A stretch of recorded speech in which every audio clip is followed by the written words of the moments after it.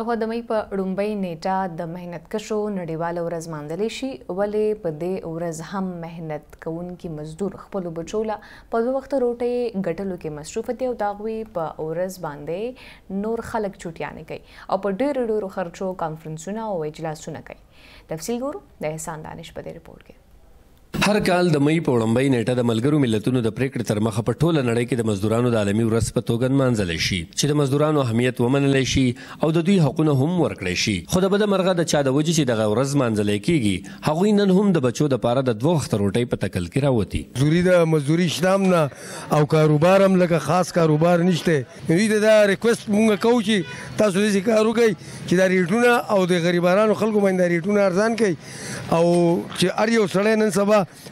ځان سودا غیسته شي باندې نن مزدور چې کم دی هغه ته دغه چې کم دغه چې کم رائټس یې هغه ته نه ورکړی کیږي او مزدور نن بیا هم خوار دی په تیر کوم خوار وسوم خوار دی حکومت حکومت نه درخواست دی چې د مزدور د پاره د غریب طبقه د پاره د دې دروچتولو د پاره لکارو کړی شي او دا غریب چې کم دی د دې د پاره